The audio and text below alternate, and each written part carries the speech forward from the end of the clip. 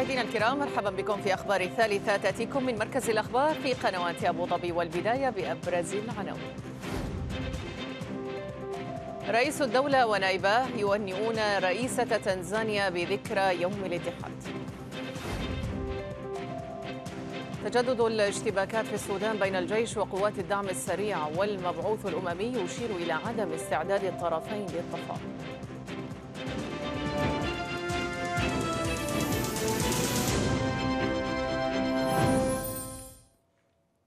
أهلا بكم.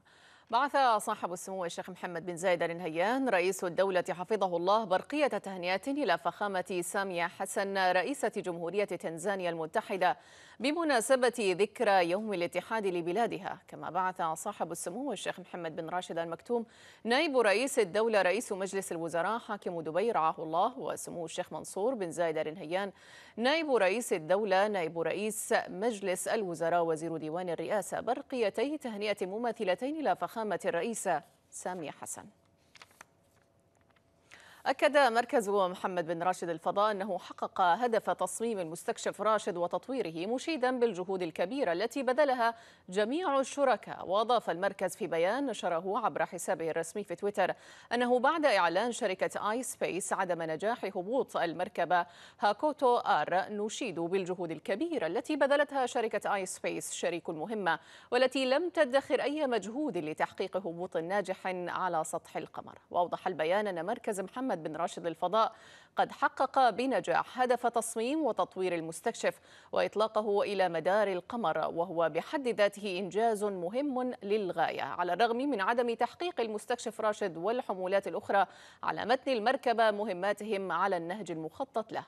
وأضاف البيان أن فريق مركز محمد بن راشد الفضاء قد اكتسب خبرات وتجارب علمية قيمة من هذه المهمة. سيستفيد منها في تحقيق مزيد من الإنجازات في مجال استكشاف الفضاء خاصة بعدما أصبح أقرب من أي وقت مضى إلى الهبوط على سطح القمر.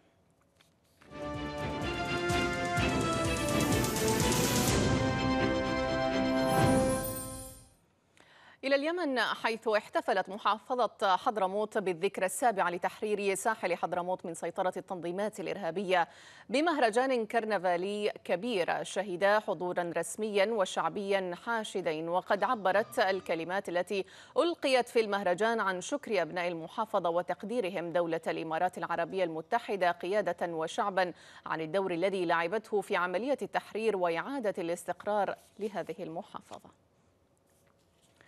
وبعد عملية تبادل الأسرى والمعتقلين بين الحكومة اليمنية وميليشيا الحوثي ساد تفاؤل كبير بين اليمنيين بقرب انتهاء الحرب لكن هذا التفاؤل تلاشى بسبب استمرار العمليات العسكرية للجماعة الحوثية في جبهات مختلفة من اليمن. مع استبشار اليمنيين بحصول انفراجة للأزمة اليمنية القائمة حاليا بعد عملية تبادل للأسرى برعاية أممية. عادت المخاوف من انتكاسة جديدة بسبب استمرار الحوثيين في تصعيدهم العسكري بجبهات مختلفة من البلاد. ميليشيا الحوثي ومن بعد نجاح صفقة تبادل الأسرى عملت على التصعيد العسكري في أكثر من جبهة في حريب وفي تعز في حريب قصفت مصلى العيد واستهدفت بعض المواقع العسكرية وكذلك في تعز عملت على استهداف عدد من الجبهات. محللون يرون أن التصعيد العسكري الأخير للحوثيين يخفي وراءه رسائل مختلفة منها ما هو للداخل ومنها ما هو للخارج. ويرون أيضا أن الغرض من هذا التصعيد هو كسب أوراق ضغط جديدة للمناورة بها في أي جولة مفاوضات قد تكون قادمة. وعلى الأرض يستمر نزيف الدم اليمني على يد الميليشيا الحوثية التي قصفت أعيانا مدنية في ريف تعز. سقط فيها 12 مدنيا بين قتيل وجريح بينهم نساء وأطفال. برغم التهدئة والتزام الجيش الوطني اليمني بضبط النفس يؤكد مراقبون بأن التحركات العسكرية للانقلابيين الحوثيين تقول بعدم جديتهم في إنهاء الحرب. لمركز أخبار قنوات أبو ظبي فيصل الدبحاني تعز. في ملف الأزمة السودانية تجدد القتال في أنحاء مختلفة من السودان في وقت متأخر مساء أمس بالرغم من إعلان الجيش وقوات الدعم السريع وقف إطلاق النار. وذلك في الوقت الذي قال فيه مبعوث من الأمم المتحدة إن الهدنة صامدة في بعض الأماكن إلا أنه لا توجد مؤشرات على استعداد أي من الجانبين للتفاوض بجدية. فيما أفادت المصادر بسماع صوت إطلاق النار والانفجارات منذ مساء أمس في مدينة أم درمان حيث استخدم الجيش الطائرات المسيرة لاستهداف مواقع قوات الدعم السريع. وقالت متحدثة باسم البيت الأبيض إن فريق الأمن القومي التابع للرئيس الأمريكي جو بايدن مستمر في الحديث مع القادة العسكريين في السودان للعمل من أجل إنهاء القتال وتقديم الدعم الإنساني. قال الوزير السابق أحمد هارون المطلوب لدى المحكمة الجنائية الدولية لاتهامه بارتكاب جرائم حرب وجرائم ضد الإنسانية في دارفور. في دارفور قال إنه سمح له ولمسؤولين آخرين بمغادرة سجن كوبر. وقال هارون إن الأوضاع في سجن كوبر تدهورت بشدة. وأفاد متظاهر كان مسجونا هناك في تسجيل صوتي. أن السجناء أطلق سراحهم بعد أسبوع من دون ماء ولا غذاء في سياق متصل قال مصدران في مستشفى عسكري بالعاصمة السودانية إن الرئيس السابق عمر البشير نقل من سجن كوبر إلى المستشفى قبل اندلاع القتال العنيف في الخامس عشر من أبريل الجاري وأصبح مكان وجود البشير مثار تساؤلات بعدما أعلن الوزير السابق في حكومته علي هارون مغادرة السجن مع مسؤولين سابقين آخرين بعد تدهور أوضاع البلاد. إلى ذلك ندد رئيس بعثة الأمم المتحدة في السودان فولكر بيرتس بتجاهل قوانين الحرب وقواعدها في الصراع الدائر في السودان والذي شهد استهداف مدنيين ومستشفيات. قائلا إنه لا يوجد ما يشير إلى استعداد القوتين العسكريتين المتناحرتين في البلاد للتفاوض مع بعضهما مع استمرار القتال على الرغم من هدنة الثلاثة أيام التي بدأت ليلة الاثنين الثلاثاء. وشدد المسؤول الأممي على أن المعارك سببت كارثة إنسانية يدفع المدنيون ثمنها وأنه ما من مؤشر على أن أي من الطرفين مستعد للتفاوض حقا وهو ما يشير إلى أنه ما يعتقدان أن النصر العسكري ممكن في حسابات خاطئة فحتى لو انتصر أحد الطرفين فإن السودان سيخسر. في ملف إجلاء الرعايا الأجانب والبعثات الدبلوماسية من السودان أعلنت المملكة العربية السعودية إجلاءها 13 سعوديا و1674 شخصا من رعايا 56 دولة إلى مدينة جدة على البحر الأحمر من السودان. وذكرت وكالة الأنباء السعودية واس اليوم أن إجمالي من تم إجلاؤهم من السودان منذ بدء عملية الإجلاء يصل نحو 2148 شخصا منهم 114 مواطنا سعوديا و 2034 شخصا ينتمون ل 62 جنسية وذلك من خلال إحدى السفن التابعة للمملكة. إذا للمزيد من التفاصيل حول هذا الملف ينضم إلينا عبر الهاتف من العاصمة السودانية الخرطوم المحلل السياسي الدكتور الرشيد محمد إبراهيم. أهلا وسهلا بك دكتور معنا في نشرة الثالثة وأبدأ معك بالأوضاع في السودان اليوم وأين تتركز الاشتباكات بين القوتين؟ نعم شكرا أستاذ يسرى على الاستضافة. آه، واضح أن آه، هنالك آه، هدوءا نسبيا لهذه الهدنة مغارة بالهدن التي سبقتها. وذلك من واقع أن الاشتباكات تركزت على وسط الخرطوم قريبا من محيط القصر الجمهوري الذي يمثل قيمه استراتيجية بالنسبة للطرفين. وكذلك في منطقة الاتحاد آه، في آه، قرب ام درمان آه، بصورة أساسية. هنالك أيضا بعض الاشتباكات في المحيط بحري شرق النيل. دون ذلك الخرطوم تشهد يعني هدوءا نسبيا في العمليات الميدانية، نحن ندخل اليوم الثاني، ذلك ربما يوحي بأن الالتزام بالهدنة في في تحسن تدريجي. ملحوظ يعني حتى في حركة المواطنين حتى في استخدام في انسياب ربما الخدمات من كهرباء ومن مياه ولكن يبدو هنالك مسافه أو حوجة متزايدة إلى تحسين وتنظيف يعني نطاق الأمان هذا. لأنه دائرة التأمين. دكتور البعض يقول بأن هذا الهدوء ربما بهذه الهدنة بالفعل فقط لإجلاء الرعايا وربما بعد خروجهم سوف تتصاعد الأمور، هل ترى هكذا دكتور؟ لا لا أميل إلى هذه وجهة النظر مستحيل لأنه جاء الرعايا بدأ في الهدنة الثانية يعني سابق لهذه العملية. كما أن الموقف الميداني والعسكري لا علاقة للهدنة به. الأطراف هي منشغلة بتحقيق أهدافها، القوات المسلحه تتحدث عن أنها لديها أهداف محددة ولذلك هي تبرر يعني أن تحليق الطائرات إنما هو لتأمين عملية الاطلاع بالنسبة لهذه طيب طيب دكتور هناك أيضا وساطة وساطة أمريكية. الآن الولايات المتحدة وضعت الملف السوداني على رأس أولوياتها. هل يعول على ذلك بشكل سريع دكتور؟ نعم أنا لا أعول على أي مجهود خارجي ربما في التهدئة ولكن في حسم النزاع ليس واردا من ذلك ربما ادلل على المقال الذي نشر اليوم في مجموعة الأزمات بأن أمريكا ابتعدت من افريقيا كثيرا وأن الأحداث في السودان الذي يعني يتطلب أن تعود إلى أفريقيا. كما إنه أيضا هنالك التقاء استراتيجي بين السودان ربما والولايات المتحدة الأمريكية فأن يكون الجيش السوداني هو مسيطرا خوفا من أن علاقات الدعم السريع مع روسيا ومع فاغنر وتجارة الذهب والمصالح الاقتصادية ربما تتعارض مع مصالح واشنطن في تمويل الحرب التي تدور في أوكرانيا. هذا أيضا اتجاه من التحليل يرجح أن الموقف الأمريكي يبدو بهذه السهولة وربما يبدي تفهما في بعض الأحيان الكثيرة. واضح. شكرا لك على هذه المداخلة معنا. في نشرة الثالثة من الخرطوم مباشرة أو عبر الهاتف المحلل السياسي الدكتور الرشيد محمد إبراهيم. شكرا جزيلا لك.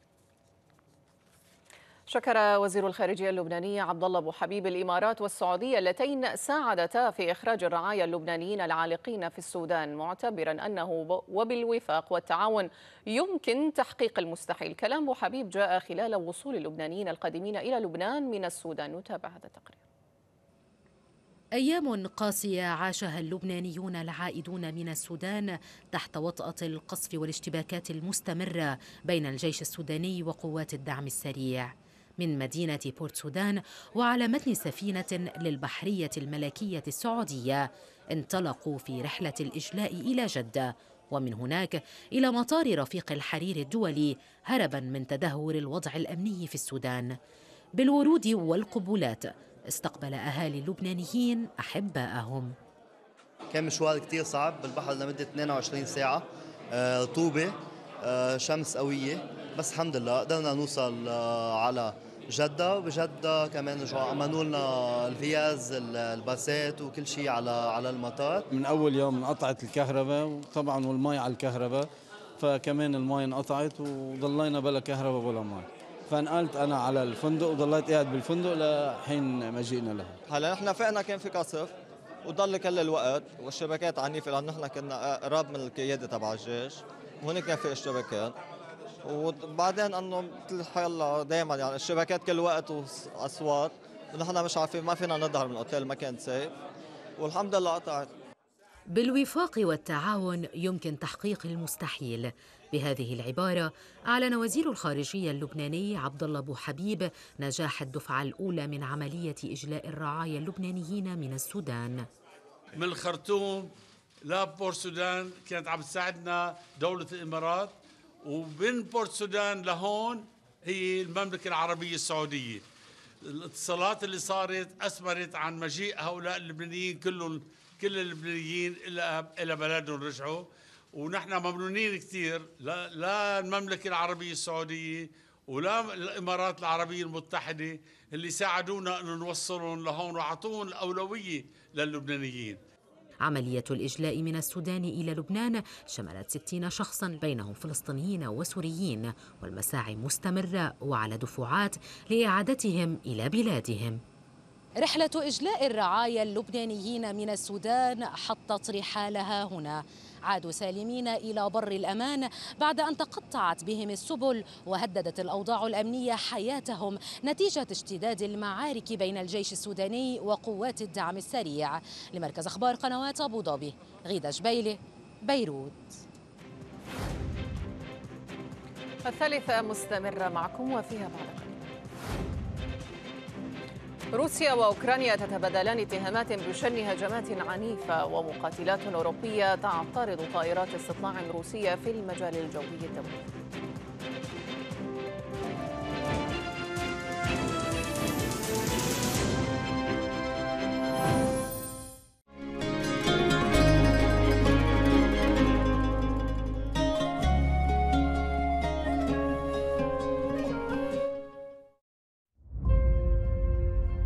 ببعض الأدوات.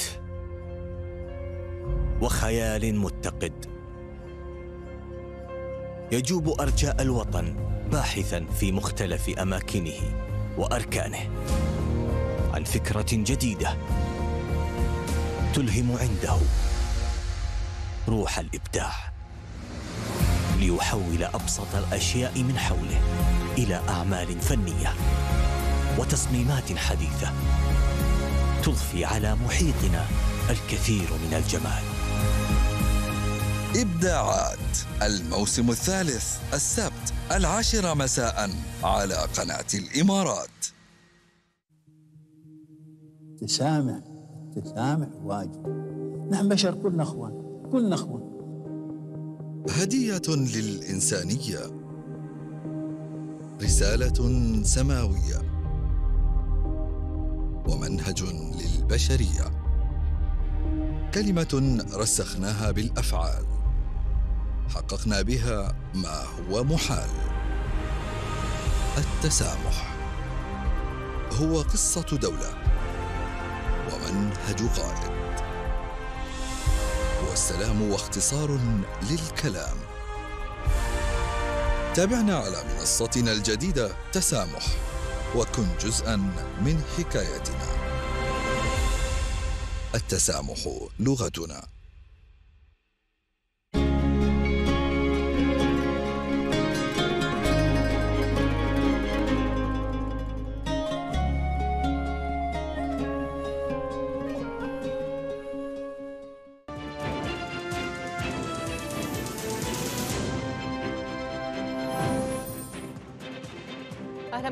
جديد وقبل مواصلة النشرة تذكير بأبرز عناوين.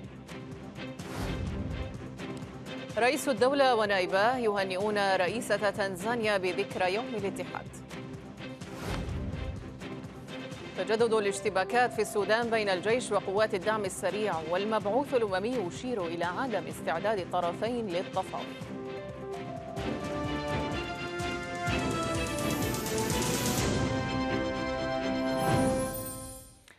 انتشل خفر السواحل الليبيون اليوم جثث أحد عشر مهاجرا بينهم طفلة بعد غرق قاربهم المتجه إلى أوروبا. جاء ذلك بعد بلاغ بوجود الجثث على بعد أمتار قليلة من شاطئ مدينة الجرابولي على بعد 50 كيلومترا شرق طرابلس. ونجح أربعة أشخاص في العودة إلى شاطئ الجرابولي الذي يسهل الوصول إليه بسبب هدوء مياهه. وكان القارب يقل نحو 80 مهاجرا وغرق قرب الساحل. بحسب أحد الناجين وبحسب جوازات السفر التي أظهرها الناجون كان على متن القارب مصريون وباكستانيون وبنغال. قطع الرئيس التركي رجب طيب أردوغان مقابلة تلفزيونية مباشرة قبل أن يعود ويعتذر متحدثا عن إصابته بوعكة صحية. وألقى أردوغان ثلاثة خطابات انتخابية أمس قبل الانتخابات الرئاسية والتشريعية المقررة في الرابع عشر من مايو المقبل. وكان مقررا أن ينهي الأمسية بمقابلة مباشرة مشتركة مع محطتي تلفزيون محليتين وقد بدأ ظهوره التلفزيوني بعد تأخير لأكثر من 90 دقيقة ثم قطعه بعد عشر دقائق خلال طرح سؤال عليه قبل أن يعود بعد 15 دقيقة مؤكدا أنه أصيب بإنفلونزا المعدة بسبب كثرة العمل. أفادت وسائل إعلام أمريكية بأن حركة طالبان الأفغانية قتلت زعيم خلية تنظيم داعش الإرهابي الذي يعتقد أنه مسؤول عن هجوم انتحاري مدمر على مطار كابول في أغسطس من عام 2021 وتوصلت الحكومة الأمريكية إلى هذا الاستنتاج على أساس معلومات استخباراتية بحسب ما ذكرت وسائل إعلام بما في ذلك صحيفة نيويورك تايمز نقلا عن مسؤولين حكوميين رفيعي المستوى. وقتل أكثر من 170 أفغانيا 13 جنديا أمريكيا في الهجوم الذي وقع خلال عمليات الإجلاء العسكرية الدولية من أفغانستان ومن غير الواضح ما إذا كانت طالبان قد استهدفت زعيم داعش الذي لم يذكر اسمه أو ما إذا كان قتل في إحدى المعارك بشكل عارض. في ملف الأزمة الأوكرانية لقي شخصان حتفهما وأصيب عشرة آخرون على إثر هجوم صاروخي روسي شرقي أوكرانيا مما دفع الرئيس الأوكراني فولوديمير زيلينسكي إلى اتهام روسيا باستخدام وسائل بربرية مفرطة في الحرب الذي التي شنتها موسكو قبل 14 شهرا. على الجانب الآخر تحدثت روسيا عن هجمات إرهابية شنتها أوكرانيا ضد الأسطول الروسي في البحر الأسود وهددت بإنهاء اتفاق الحبوب الروسي الأوكراني. في حين طالبت أوكرانيا اليوم بعقوبات جديدة أكثر صرامة ضد قطاع الطاقة والمعادن النفيسة في روسيا. في سياق متصل اعترضت مقاتلات ألمانية وبريطانية ثلاث طائرات استطلاع روسية في المجال الجوي الدولي فوق بحر البلطيق بحسب ما ذكرت القوات الجوية الألمانية اليوم. وتم اعتراض الطائرات الروسية الثلاث من قبل مقاتلات يوروفايتر الألمانية والبريطانية المنضوية تحت مظلة الناتو حيث لا تملك دول الحلف إستونيا ولاتفيا وليتوانيا طائرات مقاتلة خاصة. لذلك يؤمن الحلف العسكري المجال الجوي لبحر البلطيق في شمال شرق أوروبا منذ عام 2004 ذكرت وكالة تاس الروسية للأنباء اليوم أن أرمينيا قدمت شكوى لمحكمة العدل الدولية في شأن إقامة أذربيجان نقطة تفتيش عند بداية ممر لاتشين. وممر لاتشين هو الطريق الوحيد الذي يربط بين أرمينيا وإقليم ناغورن كاراباخ المعترف به دوليا جزءا من أذربيجان إلى أن غالبية سكانه من الأرمن ما أدى إلى أزمة مستمرة تتصاعد في بعض الأحيان إلى حد الاشتباكات العسكرية على الحدود بين البلدين. بعد إعلان الرئيس الأمريكي جو بايدن ترشحه رسميا للانتخابات الرئاسية تحتدم المنافسة بين المرشحين الديمقراطيين والجمهوريين في الاستحقاق الانتخابي الرئاسي العام المقبل واحتمال تكرار سيناريو الانتخابات الماضية بين جو بايدن ودونالد ترامب نتابع Constitution of the United States. So help you God? So help me God. Congratulations, Mr. President. بسن 80 عاما قطع جو بايدن الرئيس الأمريكي الشكوك ووضع حدا للتكهنات حول مستقبله السياسي بإعلان ترشحه رسميا للانتخابات الرئاسية العام المقبل. ومع إطلاق الرئيس السابق دونالد ترامب لحملته الانتخابية في شهر نوفمبر تبدو الولايات المتحدة على مشارف إعادة لانتخابات 2020 إذ يتحضر الحزبان الديمقراطي والجمهوري لاختيار مرشحيهما لدخول البيت الأبيض رسميا العام المقبل. إلا أن هذه المنافسة المتوقعة غير محسومة حتى الآن خاصة وأن استطلاعات الرأي تشير إلى أن نصف الناخبين الديمقراطيين لا يرغبون في ترشح بايدن لولاية ثانية ونظرا إلى مجموعة المنافسين الطامحين لشغل أعلى منصب في البلاد. ففي حين تقتصر المنافسة الجادة على ترشيح الحزب الديمقراطي حتى الآن على الرئيس بايدن وروبرت كينيدي سليل أسرة كينيدي وابن أخي الرئيس الأمريكي الأسبق جون إف كينيدي يشهد الحزب الجمهوري طفرة مرشحين من أصحاب الثقل السياسي والقادرين على انتزاع الترشيح الجمهوري من دونالد ترامب. فحاكم ولاية فلوريدا رون دي سانتيس وعلى الرغم من عدم إعلان ترشيحه رسميا حتى الآن وإطلاق حملته الانتخابية يتوقع أن ينافس ترامب على ترشيح الحزب الجمهوري وهو يحظى بتأييد كبير في أوساط الجمهوريين المحافظين لمواقفه المتشددة في ملفات المهاجرين غير الشرعيين والتعليم ودور الحكومة الفيدرالية وطريقة تعامله مع جائحة كوفيد-19 وبينما لا يزال مايك بنس نائب الرئيس الأمريكي السابق دونالد ترامب يفكر جديا في الترشح للانتخابات الرئاسية المقبلة. كانت نيكي هيلي السفيرة الأمريكية السابقة لدى الأمم المتحدة قد أعلنت رغبتها في الحصول على الترشيح الجمهوري في شهر فبراير. ومن المنافسين على الترشيح الجمهوري أيضا عضو مجلس الشيوخ تيم سكوت والكاتب فيفيك رامسوامي والحاكم السابق لولاية أركنسا آسا هاتشنسون. السيناريوهات مفتوحة على جميع الاحتمالات. فبايدن والذي سيبلغ سن الثانية والثمانين عاما في أول عام من ولايته الثانية المحتملة لم يلقى ترشيحه الحماسة الكافية في أوساط الديمقراطيين. أما ترامب الذي يبدو أنه صاحب الحظ الأوفر في الفوز بالترشيح الجمهوري لا يزال يخوض معاركه القانونية أمام المحاكم الأمريكية. إلا أن التوقع السائد حتى الآن يؤشر إلى تكرار سيناريو انتخابات عام 2020 بين الرئيسين السابق والحالي. أغلقت السلطات التايوانية مدرجا في مطار تايوان. تاويوان الدولي الرئيس في تايوان لعدة ساعات اليوم بسبب الاشتباه بوجود قنبلة على متن طائرة. تابعة لشركة طيران الصين قادمة من بكين. وتلقى مكتب شرطة الطيران التايواني تقريرا يشتبه بوجود متفجرات على متن رحلة طيران 185 تابعة لشركة طيران الصين قادمة من بكين بحسب وكالة بلومبرغ للأنباء.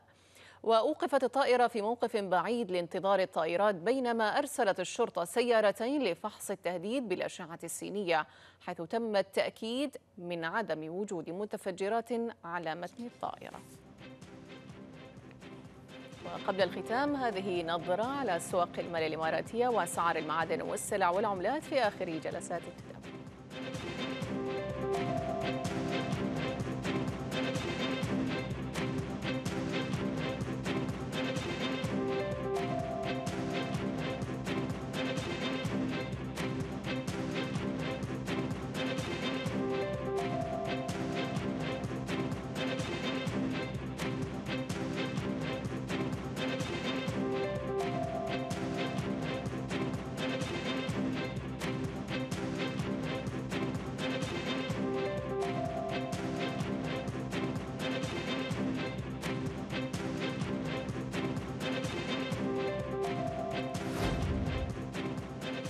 إلى هنا نكون قد وصلنا معكم إلى ختام الثالثة. شكرا على المتابعة. في أمان الله.